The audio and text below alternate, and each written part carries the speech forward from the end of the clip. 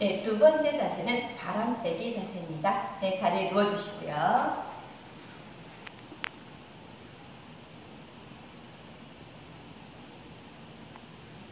자, 다리는 골반 너비만큼 벌리시고요. 양손은 무릎 옆에서 30cm 떨어진 곳에 놓습니다. 네, 먼저 손목 발목을 좌우로 가볍게 10회 흔들어줍니다.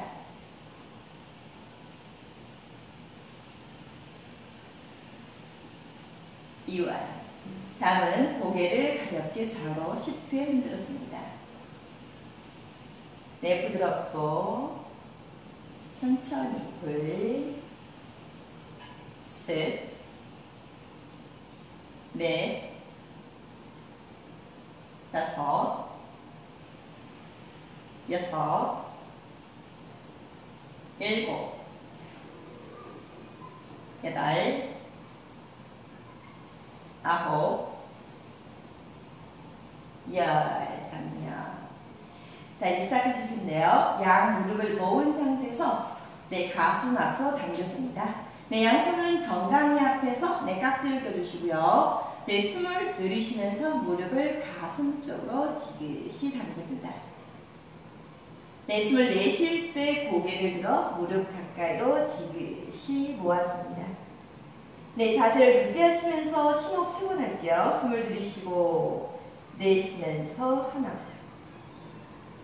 다시 숨 들이쉬고 내쉬면서 둘 들이쉬고 내쉬면서 셋 네, 천천히 숨을 들이쉬면서 고개를 바닥 쪽으로 내려줍니다. 자, 다음은 왼손으로 오른쪽 무릎 바깥쪽을 잡으시고요. 네, 오른팔은 수평. 네, 손바닥이 하늘을 향합니다. 네, 그대로 숨 들이쉬고 내쉬면서 무릎을 천천히 왼쪽으로 내려줍니다. 네, 시선은 오른쪽 손끝 바라보시고요. 그대로 심호흡 세 번. 숨 들이쉬고 내쉬면서 하나. 들이쉬고 둘. 들이쉬고 셋. 숨 들이쉬면서 천천히 무릎 정면으로 올립니다. 자, 그다음 반대 오른손으로 왼쪽 무릎 바깥쪽을 잡으시고요. 네, 그대로 왼팔은 수평, 손바닥이 하늘을 향합니다.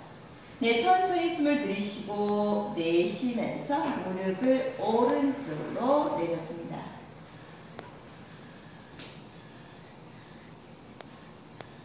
심호흡 세 번, 숨 들이쉬고 내쉬면서 하나 들이쉬고 둘